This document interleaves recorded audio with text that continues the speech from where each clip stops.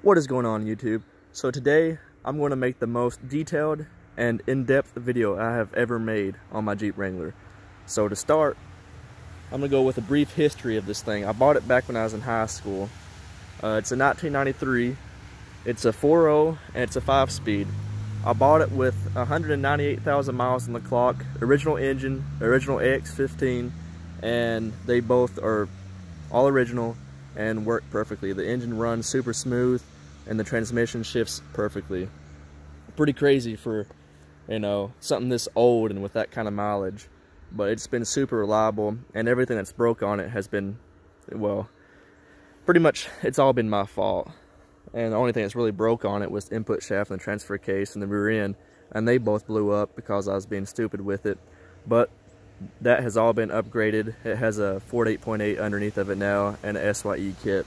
So when you break something, you might as well go big or go home and just upgrade it completely. So anyways, uh, every time I post this Jeep on Instagram or Facebook or any social media website like that, I have people ask me all the time, hey, what front bumper is that? What size tires? What size wheels? All this stuff. So instead of constantly, you know, just copy and pasting what I'm saying. I'm just going to make a complete video, which is what this is going to be, of me going around the Jeep completely. And to make things easier on people, I'm going to post every link to everything on this Jeep. So that way, if you want to buy the exact headlights that you see in this video, it's going to take you straight to those exact headlights. The only thing I cannot go in depth into are these wheels. I bought the Jeep with them. Uh, I've never, I've tried looking for a fifth spare and I can't find them. They're Ultras, and I've looked up this model. They don't make them anymore, so unfortunately, I can't really go on the specs of the wheels that much. All I know is that they're 15s, and they're 8 inches wide. That's all I can tell you.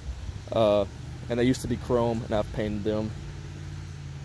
So anyways, start with the front, I reckon. Uh, this front bumper, again, like I said, I bought this Jeep when I was in high school, so I was working on a very limited budget but I can attest the quality of it. It's been a great bumper. It hasn't rusted out or anything like that. And I've had it mounted against tree stumps and everything to winch other people out. So it's an E-Autogrilles. I got it off eBay.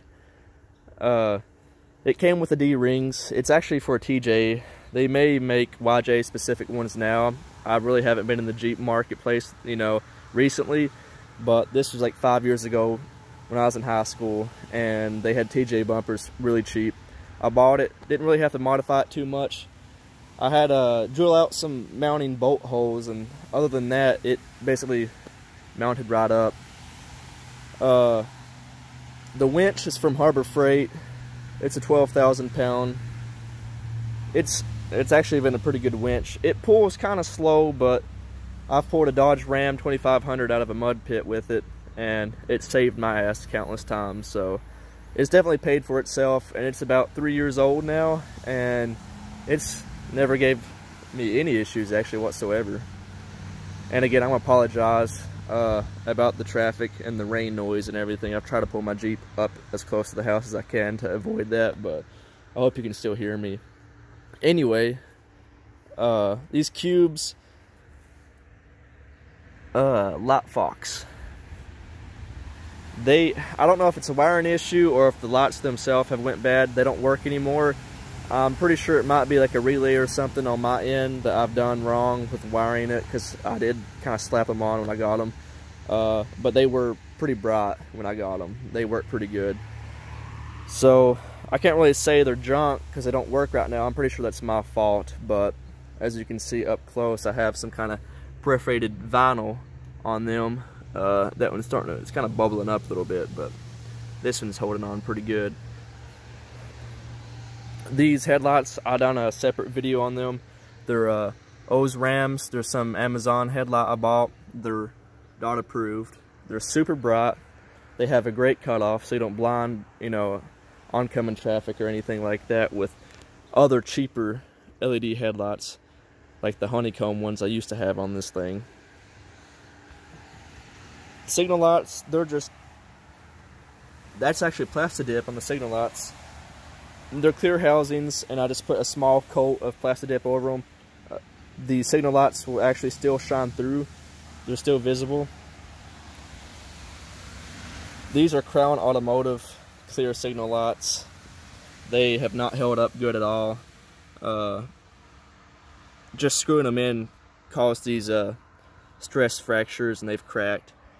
Uh, I paid like $60 for them too and you know, it's pretty disheartening that you pay that much for something and you know they uh, they don't last. They have water entry inside of them there and it's starting to get kind of foggy and it's getting a yellowish look to it. They used to be crystal clear when I got them. So again, uh, I would not recommend the Crown Automotive side markers. Definitely not clear anyway. I don't know if the amber ones are any better or not. So another top question I'm asked is the lift kit on this thing. Again, high school, work on a budget. This is a uh, four inch rough country lift. I have one inch lift shackles, so the Jeep has a total of maybe like five inches, give or take, of lift. Rough country, quick sway bar disconnects. Uh, just keep them lubricated, spray them with WD-40 every, every so often because they do tend to get really hard to break loose. But I usually just take them off when I go wheeling, and I zip tie the uh, the uh, sway bar up or track bar. I mean, uh, let's see. The tires are 33 1250s. They're Dynapro MTs. They, uh, I think they're about four years old now, and they still have pretty good tread. And like I said, I have about, I've put 50,000 some miles on the Jeep. These tires have maybe 30,000, so they're holding up pretty good. These side steps, I bought these on Craigslist a long time ago. I do not recommend them because they're already rusting. I think they're Westins, and they rust on anything. They're junk. These fender flares are Rugged Ridge all-terrains for YJ, obviously, six inches wide. And I have one inch wheel spacers. Yeah, I know, gag. But uh, it gives it that perfect stance where you have just that little bit of poke from the tire, from the fender flares. Uh, but they are hub-centric wheel spacers. And, you know, yeah, they're not the best thing out there. Get the proper back space and offset of your wheels, but, you know, hub-centric wheel spacers, if torqued down and you use Loctite, they are safe. And if you constantly make sure that you're retorquing them when you rotate your tires and stuff, they're perfectly safe. You just have to be smart with that stuff. These are TJ mirrors. I just drilled three holes right here. Uh, I've broke this one before, lost a screw to it. You know, one day eventually I'll fix that, but this is a Jeep. And I do wheel this thing, because if you get really close to it, it has some trail rash, which the rain is going to kind of hide most of it. But you can see, this is not a you know, a show Jeep or anything like that. It's, it, I, I do use it. It has been abused and I have rolled this thing over. So talking about, you know, a brief history of this thing. When I had it maybe, when I first bought it, it had an aftermarket lift kit on it. Well, it wasn't even aftermarket, it was homemade. And the shackles were welded. I knew it was something that needed to be replaced, but I kept pushing it aside. And one of the homemade shackles snapped on my way home and it pulled me off the road into a ditch and I rolled the Jeep over. Luckily it didn't do too much to it. It crushed, well, it crushed both fenders, crushed the hood, and as you can see right here, it crushed the grill. And that's the one thing I haven't replaced because it's kind of like a, you know, a battle scar, I think. It makes me, you know, people ask me about it. So it's a cool little story, cool little background about it. Uh, but I've replaced both fenders, replaced the hood. And the Jeep's been repainted. It's, uh, Lexus Knights Armor Pearl is the uh, the name of the paint. It's like a dark gray metallic. So I just went all out when when I flipped this thing and rebuilt it. I just wanted to make it different. And this is a Poison Spyder hood louver. That's an AC Delco farm jack. I think I bought it from O'Reilly's, something like that. Uh, some auto parts store. KC lights, they don't even work anymore. These things blow left and right. They're overpriced for what they are, if you ask me. This is some 50 inch Amazon light bar. I have the same perforated vinyl wrap over the light bar. Now the rain's starting to pick up, but I can't stop now. Uh, and these are rough country light bar mounts, actually. yeah, wire management looks good. Window tint, because I do get asked what percentage it is. It's 20%. Uh, soft top's 20% too. It's a soft top or soft top. It's frameless. They do not make them anymore, unfortunately.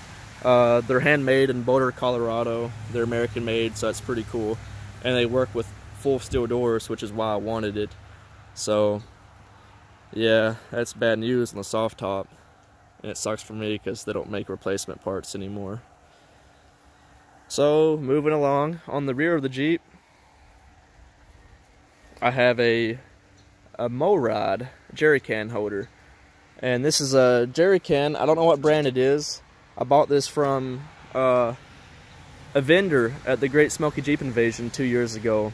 And it's actually held up really good. I've been through like three of these jerry cans. All your Amazon ones are junk. The the bottom welds blow out and rust.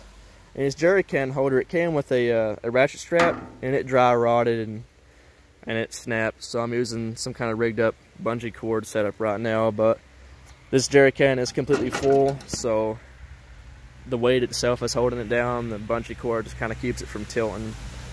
And this is my little ball sack, as I call it. It's uh, it has gloves in it, so yeah. That way, if I ever need to fill it up with gas, because I've been stranded before, because my gas gauge doesn't work below half a tank, and I was being stupid and didn't keep up with my mileage, and I ran out of gas. So these things, these jerry cans are really messy, especially with these uh, rear-mounted gas caps. So I have those gloves with me. And I keep them outside the Jeep because you don't want gas fumes inside. Nobody wants that. I just smoked these tail lights with a lens tint or whatever it's called. Uh, these are just some cheap eBay lens guards I bought. They've held up actually like, you know, most of them turn gray. These actually have kept their black, like glossy look like these flares, they used to be a glossy black, and look how gray they are now. Anyways, uh, let me uh, show you guys the 8.8 that I have under here. That's something I fabricated myself. I was actually, you know, young, and I bought a stick welder and everything just to learn how to weld, and welded up my own mounts and everything to it. So I'm pretty pretty proud of how that turned out, you know, especially with no experience with welding whatsoever. And got a two-piece drive shaft and everything under there. It's really starting to come down with the rain now. But I think I've pretty much hit all the highlights of everything on the outside of my Jeep. And I apologize if there's something you're wanting to know and I completely overlooked it. But let me get inside the Jeep and we'll go over the inside of it and kind of shelter myself from the rain. So this is your, you know, it's pretty typical of a YJ. This is actually the cleanest it's been in a long time. I just have a bunch of stickers. Uh, let's get that mileage in here. Check that out. My dash cam fell off, but uh, it works. I always recommend everyone put those in any car that you own. Uh, I think those are just some replacement visors. My Jeep didn't have them when I bought it, so I think I've got them off Quadratec if I had to guess, not sure. And I had a Firebird formula, I stole the shifter from it, put it in my Jeep, so it's got a little piece of my old car in it. CB radio. I deleted the actual stereo because I don't know what it is about a Jeep, but there's some kind of water entry it's getting in there. I don't know if it's my cowl seal or what, but it keeps frying my radios. So I just, I'm done fooling with them. And I went with a uh, Bluetooth soundbar. It connects to my phone. This is marine grade too, by the way, so it can get rained on. You can take it out in the trails with the top off, get mud on it. Don't have to worry about it too much. Uh, there's really nothing in here to brag about. I just have a fire extinguisher mounted right there on the roll bar and I have uh, some cargo nets that go all the way around and I have a storage cargo net up here on the top. I don't know if you can see it, but you can store stuff up there. So I have cargo nets all the way around.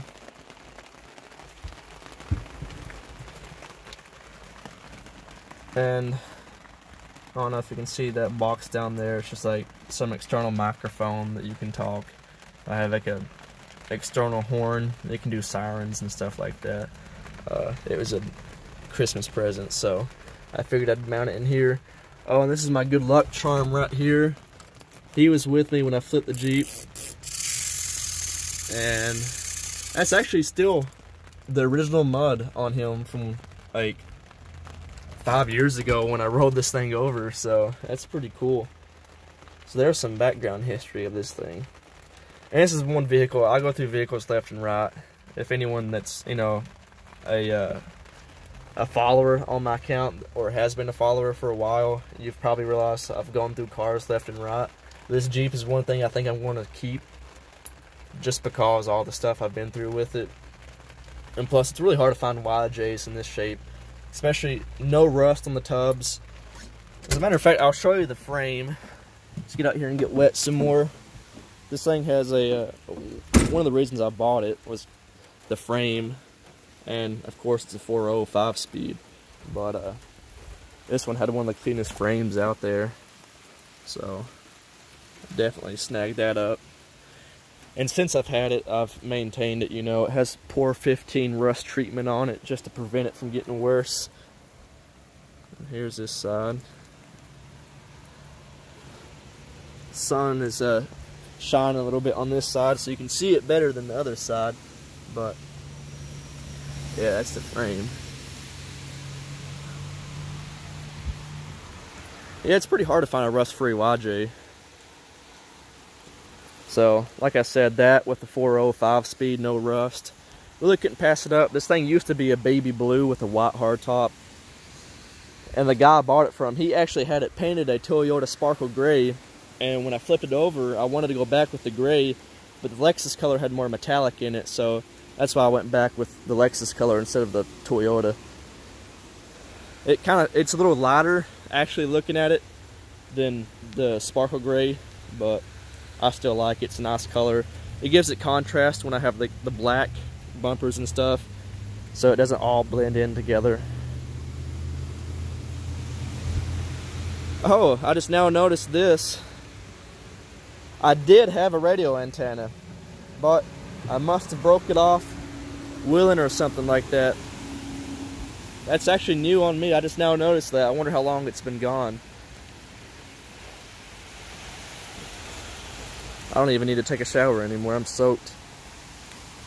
But yeah, anyway, I uh, hope this answers a lot of questions. And like I said, I'm going to have all the links in the description. So that way, like I said, you like these headlights, go in my description, look at the headlights section, click it, boom, right here they are. Go ahead and order them, ship them your way. Uh, you know what? I'm gonna jump back in here for a second. Uh, I'm gonna do everything, uh, even these cargo nets, I'll link these because I know some people will probably wonder why I got those to put in their Jeep. Hood louver, all the simple stuff like that, I'm gonna have a link. But uh, I figured I was gonna make this the most in-depth video I have ever done. Uh, and of course, I never gave a background story of my Jeep, so this is the first too. So, uh, yeah, anyway, I appreciate you guys taking the time to sit and watch all of this, and I hope this video helps some people out with uh, upgrading their Jeep. Again, thanks for watching.